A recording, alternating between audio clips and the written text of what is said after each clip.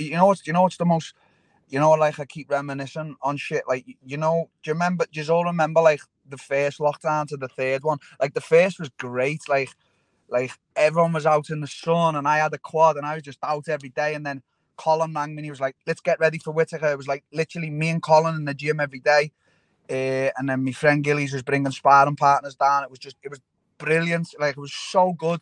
Colin got me Colin like was saying every day we're to do Khabib style uh, strength conditioning like everything was great. And then I remember on the third lockdown, I got a chef in to live with me and my uncles. I didn't live with me, me, me bird or my kids.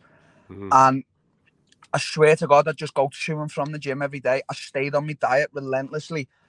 And it was the best I've ever been. And I, I actually knew inside me I was going into that fight with Marvin. I'm not disrespecting Marvin. Listen, he's he's higher up than me now. He's on a fucking totally different path.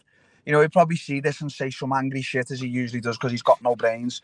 But I would have went in that fight and stopped him 100% in the first round because he's just a monk who comes forward. He just wouldn't have been able to take my shots.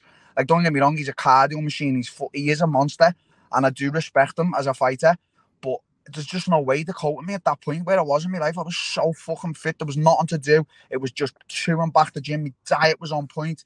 And then two weeks before, it's like I broke my collarbone. It's like, mm. It's just like, and these people must just be thinking, oh, this Till's fragile.